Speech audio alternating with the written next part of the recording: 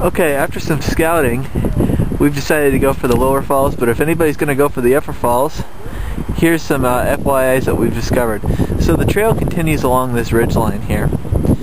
There's a couple of bands of trees, one of them being right there, and one of them right there, that lead to the creek in there, and it seems as if you could access the Double Falls. However, in this band of trees, and I'll show you a picture later, uh, wait for the next video. So here's that band of trees I was pointing out. There's there's a cliff band in there. Now, who knows if you can get around that? I'm not sure. However, in the closer band of trees to us, it looks a little bit more straightforward. Descend somehow from the ridge, but hit those trees and then follow them down, and it appears like you'd end up, oh, about there.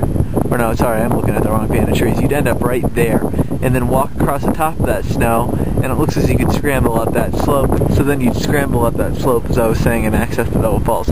However, our plan is to go down into the saddle right here. Hopefully get down into this nice greenery. Get onto the talus and go all the way down to the to the bottom falls down there. Wow, it's going to be a murder coming back up, but we'll see if we can do it.